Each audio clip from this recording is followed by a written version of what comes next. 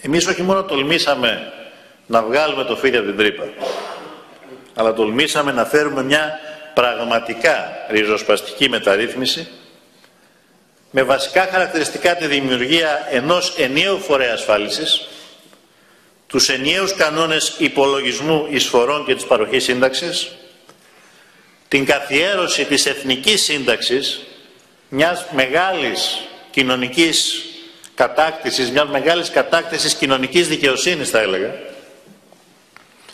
και ταυτόχρονα επιτυγχάνουμε την εναρμόνιση των κανόνων εισφορών και παροχών μεταξύ νέων και παλιών ασφαλισμένων και την εναρμόνιση των κανόνων εισφορών παροχών μεταξύ των ασφαλισμένων των επιμέρους ταμείων.